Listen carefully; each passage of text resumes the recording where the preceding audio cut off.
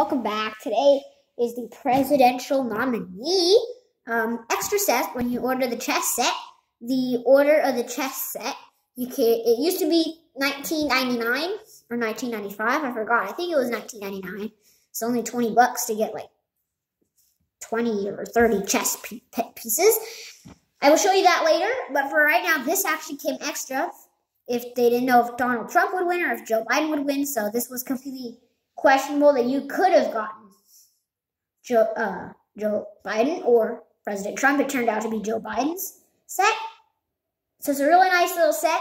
Uh, yeah, I think it's great. So let's take a look at Kamala first. Kamala is a really neat figure. All the prints are not prints. These are all hand-painted figures, so that's really neat about them. There's a really nice little U.S. thing.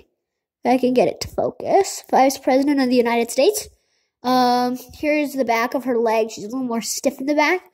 It's kind of like you could stick something through there. It's not the best in the back, but these are hand-painted figures. Can't really argue about hand-painted figures.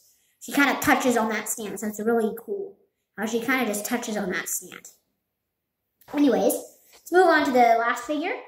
Joe Biden here he is on there. He's not rare. You could find him in the other on the uh, actual set, but Kamala Harris is a rare one. This one says President of the United States before it unfocuses. Joe Biden on there. If you flip to the back, it's kind of the same thing. It's trending there, so yeah.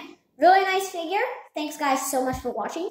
Please like, subscribe, and share to Beyond LFL to find the latest content of not so Lego things. So thanks guys for watching. Bye.